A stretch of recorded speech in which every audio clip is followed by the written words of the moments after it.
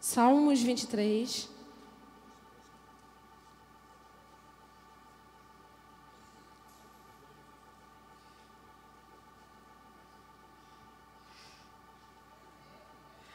Todos acharam? Vou ler só o primeiro versículo.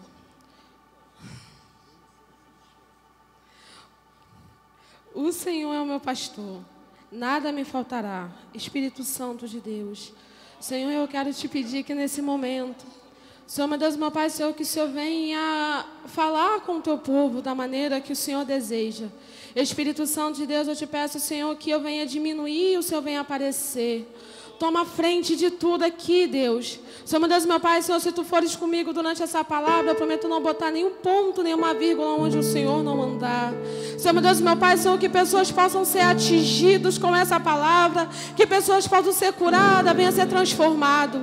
Senhor, meu Deus, meu Pai, Senhor, que não seja para exaltação do meu nome, mas para exaltação do seu. Espírito Santo de Deus, Senhor, fala conosco neste lugar. É que eu te peço em nome de Jesus. Amém. Irmãos, é, eu estava lendo esse texto, já tem já uma, uns dois meses que o Senhor fala muito forte comigo dentro do Salmo 23. E eu leio e releio ele todos os dias, e o Senhor vai me tratando todos os dias. Que todos os dias eu vou atribular Deus, entendeu? E eu estava lá lendo um texto, e eu quero dividir com a, com a igreja. É, quero até convidar os irmãos para deixar a Bíblia aberta nesse texto que eu quero dividir com a igreja as bênçãos de ter o Senhor como nosso pastor. O salmista ele começa o texto dizendo que o Senhor é o meu pastor. Ele começa esse texto usando um pronome possessivo de posse. O Senhor é o meu pastor. Ponto. E não tem e nada. O Senhor é meu pastor. Ponto. Vírgula. Nada me faltará. E quando eu fui ler só esse verso, o Senhor falou comigo: Nada te falta porque eu sou o seu pastor. E eu quero falar que esse texto, eu descobri que o Senhor cuida, o Senhor está preocupado com o que eu preciso, com o que eu necessito. O Senhor, só nesse texto eu descobri que o Senhor está preocupado com o meu corpo, com a minha alma e para onde o meu espírito vai. A primeira bênção que eu descobri está no versículo 2. Deitar-me faz verde pastos. Guia-me mansamente a águas tranquilas. Olha só, vamos pensar com mente de ovelha. Pasto é o que a ovelha precisa para poder comer. A água é o que ela necessita para poder beber. Ele não só faz a ovelha ir até os pastos verdejantes, mas faz ela deitar. Ele está dizendo assim, ó, tá vendo o que você precisa? Eu não vou te dar só para esse momento você vai ter em abundância. Ele está preocupado com o, o bem-estar da ovelha. Aí fala assim, ó, e guia-me mansamente às águas tranquilas. Está falando de paz, de mansidão, da necessidade do corpo. Aqui o Senhor está falando com o salmista sobre a necessidade do corpo dele. Ai, gente, Deus se importa. Você pensa que Deus não vê quando você sai de casa e talvez está faltando um arroz da tua casa? Você que tem o Senhor como seu pastor, que segue Ele com fidelidade, você acha que Ele não se importa com o leite da criança que você ainda não conseguiu comprar? Você acha que o Senhor não se importa com a faculdade que você sonha? Você acha que o Senhor não se importa com, com os seus sonhos, com os projetos do seu coração? Ele se importa com tudo. Ele se importa com aquilo que nós precisamos e com o que nós necessitamos. Gente, eu, eu eu tenho inúmeros milagres para poder contar a respeito do Senhor. Quantas vezes na minha casa, eu vou falar da minha mãe porque é um exemplo que eu tenho de perto de fé. Quantas vezes a gente não tinha nada de manhã e ela falava assim: ó, ninguém vai falar nada. Vamos para, vai todo mundo para a escola e quando chegar, Deus vai providenciar. E de repente o Senhor mandava a cesta básica na nossa casa de pessoas que a gente nem imaginava. O Senhor se importa contigo. O Senhor se importa. O Senhor se importa com os desejos, porque até os projetos e os sonhos que são brotados no seu coração, o Senhor colocou no seu coração. O Senhor se importa com as lágrimas que você derrama durante a noite e diz: Poxa, como eu queria que fosse assim, como eu queria minha casa assim, como, como eu queria. O Senhor se importa. E aí, Ele se importa com a nossa alma. refrigera a minha alma e guia-me pela vereda da justiça por amor do seu nome. Quando fala de veredas da justiça, almas fala de sentimento. Vereda da justiça é um caminho reto. Já viu uma pessoa inconstante? Hoje ela quer pregar, amanhã ela não quer mais. Hoje ela quer cantar, amanhã ela não quer mais. Hoje ela quer estar aqui, amanhã ela não quer mais. Semana que vem não quer. Não. Quando nós temos o Senhor como nosso pastor, Ele cuida até das nossas emoções. O Senhor cuida das nossas emoções. Eu quero declarar sobre pessoas aqui hoje equilíbrio. Tem pessoas aqui hoje que precisam de equilíbrio. Lembra da tsunamita? O menino está morto em casa. Gente, eu vi uma, uma pregadora falando e é verdade isso. Se alguém chega, você que é mãe, te dá uma criança com dor de cabeça, tu faz o quê? O que está acontecendo? Peraí, deixa eu verificar. Deixa eu ver se está com febre. Deixa eu ver o que está acontecendo. Vamos levar para o hospital. Essa mulher pega a criança e deixa no colo. Ela já sabia que essa criança ia morrer. Porque ela sabia que não tinha mais para onde correr. A criança está morta. Se ela chora a morte da criança, a criança era enterrada. O que, que ela faz? Fica aqui. Eu vou atrás de quem prometeu. Equilíbrio. Alguém precisa de equilíbrio para lidar com as emoções. Alguém que hoje não recebe bênçãos dos céus porque não está tendo equilíbrio para lidar com as emoções. Você hoje sai daqui avivado, fala em mistério, corre a igreja toda. Quando chega lá fora, você já fala assim: ai, que tristeza profunda, eu não quero mais ir para a igreja. Te falta equilíbrio. Equilíbrio para poder levantar de manhã e vir para a consagração. Equilíbrio para estar na escola bíblica dominical. Equilíbrio para sentar no departamento. Equilíbrio, gente. Ou vocês estão achando, tem, olha só, você vem para a igreja, aí fala assim, fulana me olhou de cara feia, fulana nem te viu. Fulano nem te enxergou. Te falta equilíbrio. O diabo sabe que você pensa, o, diabo sabe o que o, o seu medo. O diabo sabe as suas fraquezas. Você fala. Vai falar. Você chega para tua amiga e fala: "Olha, o que me derruba é isso aqui". Ele vai justamente naquilo. Aí ele mexe justamente nas suas emoções. Terceira coisa, terceira bênção. Ainda que eu andasse pelo vale da sombra da morte, não temeria mal algum, porque tu estás comigo. A tua vara e o teu cajado me consola. Aqui eu apanhei. Ele cuida do nosso espírito. Quando fala de do vale da sombra da morte, está falando do nosso momento de decisão. O último suspiro. O momento da morte. O salmista está falando que ele não tem medo de morrer. Porque ele sabe quem está com ele. Ele sabe o que espera ele na eternidade. Ele sabe para onde ele vai. A paz no coração dele, de saber para onde o espírito dele faz. Está falando de fé, de consciência. Está falando de eternidade. Quantos aqui ainda sonham com o céu? Quantos aqui ainda almejam o céu? Essa semana eu estava sentada no sofá, eu olhei para minha mãe e falei assim: Eu tô com uma saudade do céu, minha mãe. Eu? Gente, eu tô com uma saudade do céu. O mundo não tem nada. Ele não tem nada para nos oferecer. Às vezes eu ajoelho e falo assim: Senhor, não me deixa te perder de vista. Não me deixa perder o Senhor de vista. Eu quero chegar no céu, abraçar Jesus e dizer: Eu consegui. Ah, eu venci. Eu não venho para a igreja, gente, por causa do microfone, por causa da mídia. Não, eu venho para a igreja porque eu quero abraçar um dia. Aquele que me amou tanto, que morreu na cruz por mim, sem eu merecer. Nós não merecíamos, não merecíamos nada. Você não merecia estar aqui. Você não merecia cura. Você não merecia acordar hoje de manhã. Pecamos todos os dias, murmuramos. Nós somos ruins, gente. O Senhor nos livra de tanta coisa. A gente vem pelo caminho, eu venho a pé. Aí sou livrada de morte, de acidente, disso. Chega aqui. Aí chego na porta da igreja, o sapato rebenta. Eu fico, poxa, por que, que eu vim para a igreja? Nós não merecemos. O Senhor faz tanto por nós. E ele pede assim para a gente, vai lá, dá um abraço. Fulano que fulano precisa de um abraço, a gente fica, eu não quero, vou nada. E quando você precisava de um abraço, Deus usou alguém para te dar um abraço. Estamos esquecendo do céu. Minha avó falava muito isso. A desobediência fará muitos crentes perder a igreja, perder o céu. A desobediência. Você acha que quando Deus manda você fazer alguma coisa, você bate falar que não vai estar tá fazendo o quê? Você está em desobediência, irmão. E olha como que nós estamos. Porque não almejamos o céu. Sabe por que, que eu quero ver uma geração inteira rendida aos pés do Senhor? Porque eu quero que todo mundo experimente um pouco daquele que me amou. Porque eu não tinha nenhuma expectativa de vida. Eu sei aonde eu estava quatro anos atrás.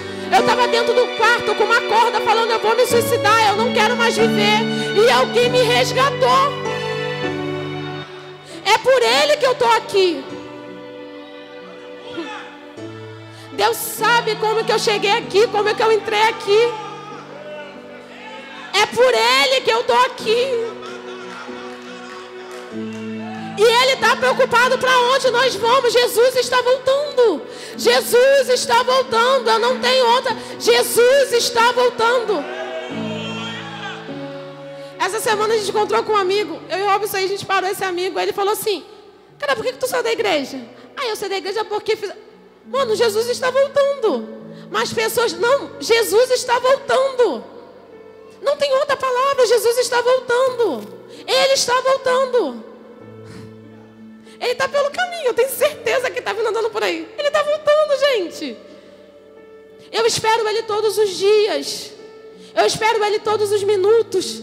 Eu espero Ele todos os segundos. Sabe qual é o nosso problema? Nós estamos esperando Jesus para daqui a dois, três. Estão igual nos dias de Noé. Bebe, deitam, come, dançam, se festejam. E não esperam Jesus para o próximo segundo. Eu estava em casa pensando e o Senhor me fez lembrar sobre Noé. E eu estava falando assim, que doideira, né? Imagina se os filhos de Noé começam. Ah, eu não vou, eu não vou construir essa arca, não. Meu pai está doido. Tá todo mundo falando construir arca para quê? Se a esposa de Noé a primeira falar assim, eu não vou entrar nessa arca, não. Tá maluco? Arca? Que chuva! Mas alguém acreditou no propósito de Deus para a tua casa, a sua família, e toda a casa dela foi salva. Precisamos, como diz a pastora Ana Paula, a gente fala que falta tempo, não nos falta tempo, nos falta propósito. Eclesiastes 3 fala que há tempo para tudo, não, há tempo para todo propósito. Qual é o seu propósito de estar aqui hoje?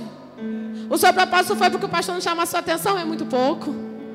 O seu propósito era porque você tinha alguma responsabilidade? É muito pouco. O seu propósito era porque você não tinha outro lugar para poder ir? É muito pouco. Qual é o seu propósito de estar aqui hoje? A outra benção de ter o Senhor como nosso pastor. Calma aí, calma aí, que eu esqueci de uma coisa. A tua vara e o teu cajado me consola. Gente, a vara e o cajado de Deus. O Senhor só repreende o filho a quem ele ama. O consolo de Deus vem com uma repreensão. Ó. O consolo de Deus vem com uma repreensão. Fique com medo quando o Senhor falar assim: Ah, cansei de falar. Fala mais não, vou deixar agora. Vai. Se o Senhor ainda está falando contigo, é porque Ele tem pressa em alguma coisa em você. Ele tem pressa em alguma coisa em você. Existem pessoas que Guerreia todo dia contra o Espírito Santo. Não quero, não quero, não quero, não quero, não quero, não vou, não vou, não vou, não vou, não vou, não vou, não vou. Só que existe uma palavra liberada sobre mim e sobre você essa noite. E vai acontecer. O problema, Marley, é que em situação o Senhor vai fazer se cumprir a promessa dele em nossa vida. Não é como nós queremos. É o tanto que você guerreia com Deus para não fazer e a forma que Ele vai fazer você cumprir aquilo que Ele já falou que vai fazer através de você. A próxima bênção de ter o Senhor como nosso pastor. Preparas uma mesa perante a mim na presença dos meus inimigos. Unge a minha cabeça com óleo e meu cálice se transborda. Todas as vezes que a Bíblia fala de, de mesa, ela fala de comunhão. A mesa ela revela o traidor, ela revela quem ama, quem se considera o profeta mais amado ela revela o medroso. Final de tarde com Adão, o Senhor fazia uma mesa. Quando Jezabel queria comprar os profetas, ela preparou uma mesa. A mesa, ela revela a comunhão. A mesa mostra quem é quem. Já viu final de ano? É sempre na mesa que a sua tia te pergunta: cadê seu namorado que você não arrumou? Eu faço muito isso.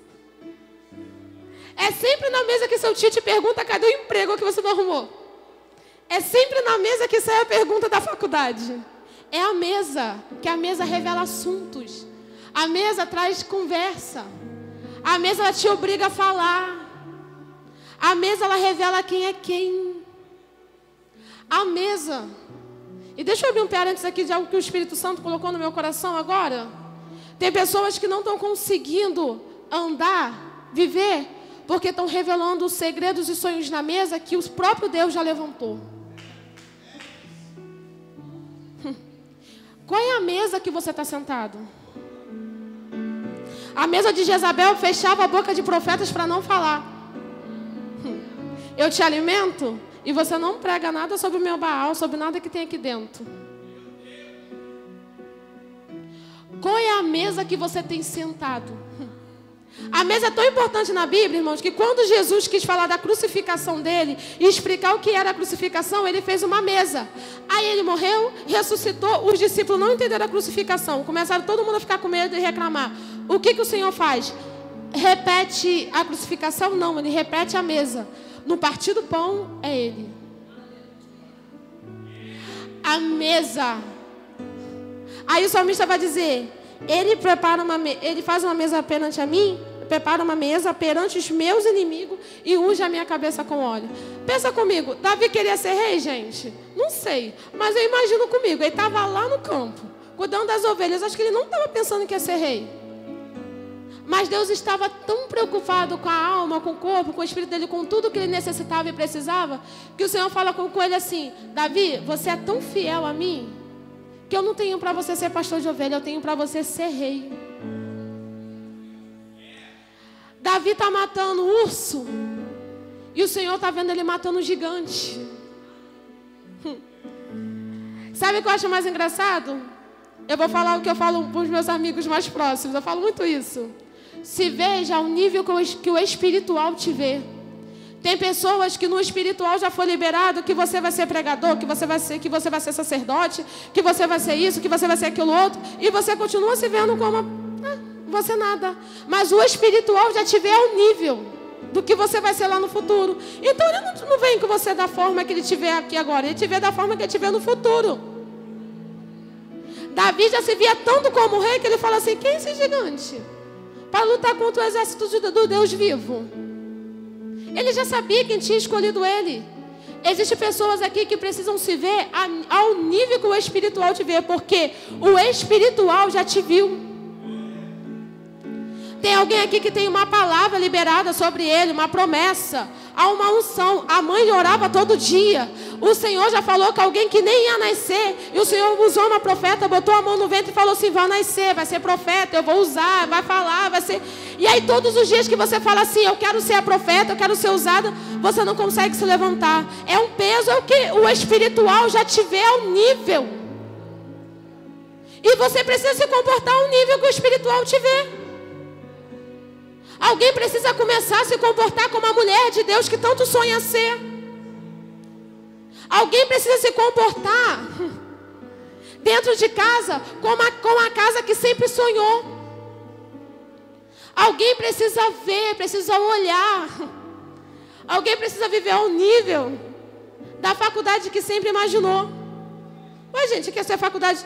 Eu sempre falava isso para os pré-adolescentes. Isso é muito sonho. E eu acho lindo isso. E eu comecei, você quer ser o quê? Aí eu quero ser médico. Eu falei assim, você vai ser médico. Começa a estudar agora, gente. Começa a se ver ao nível do que o espiritual te enxerga. Começa a guerrear ao nível do que o espiritual guerreia contra você. Começa a dobrar o nível do jejum Começa a dobrar o nível da oração. Começa a dobrar o nível da palavra. Se levanta, viva. Gente, estamos nos últimos momentos da igreja e o Senhor precisa de guerreiros. De pessoas que acreditam. A, a, a, a igreja geral, a igreja primitiva, ela foi formada com pessoas que acreditavam naquilo que o Senhor tinha para aquele povo. Lê Atos, gente. O povo é batizado em Atos 2. No 6 já estava começando a perseguição. Atos 12 eles estão cheios de Deus, estão falando em línguas.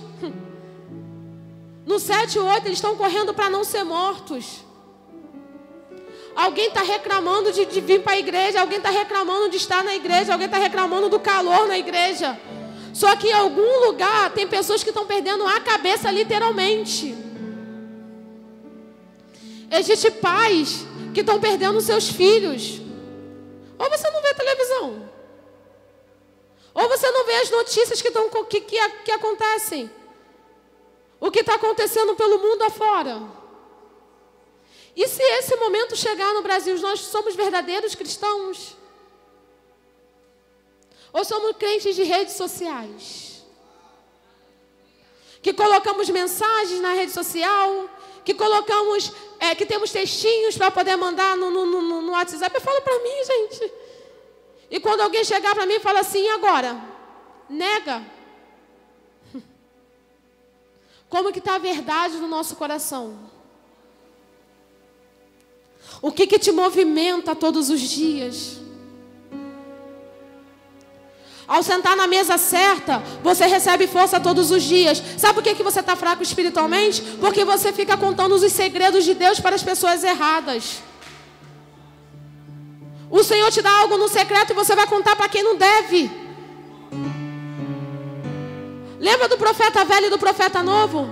O profeta novo recebe uma palavra, ó, vai pelo esse caminho, não volta por esse caminho, não para na casa de ninguém, não come na casa de ninguém e volta por outro caminho. Não quero. O que, que ele faz? O profeta velho aparece. Ué, eu também sou profeta, vamos lá para casa. Fazer um momento de mesa. O profeta novo esquece quem deu a palavra para ele e vai para a casa do profeta velho fazer um momento de mesa. Qual é o final do profeta novo? A morte por desobediência a Deus. Com quem você tem feito o seu momento de mesa? Há uma exaltação para a sua vida. Só que senta na mesa que o Senhor tem a liberdade de sentar e participar do momento de comunhão contigo. Senta na mesa que o Senhor vai estar sentado. E aí ele termina. Certamente que a bondade e a misericórdia, me seguirão todos os dias da minha vida. E habitarei na casa do Senhor por longos dias. Ele tinha tanto o Senhor como pastor dele, que ele tinha certo que a bondade e a misericórdia dele seguiria, seguiriam ele todos os dias. E aqui ele demonstrava o porquê que ele ia e voltava todos os dias para a casa do Senhor. Pela misericórdia e pela bondade de Deus. E com uma frase ele nos explica sobre a graça. O que me traz todos os dias à casa do Senhor é a graça. É saber que nós não somos consumidos por causa da graça. É ela que me faz levantar todos os dias de manhã e mesmo sem força estar aqui na casa dele. É ela que me faz levantar todos os dias e orar. É a graça. É saber que para onde eu iria no final. E a graça, a graça me alcançou. A graça me libertou. E o que nos faz estar aqui todos os dias, o que te faz sentar aqui todos os dias e não ser consumido, é a graça. Eu agradeço a oportunidade em nome de Jesus. Bem, mais forte, gente. A graça. Quantos dependem da graça de Deus, irmãos? Eu dependo da graça. Ai de nós se não fosse a graça, né, irmãos? O favor que a gente não merece é a graça de Deus.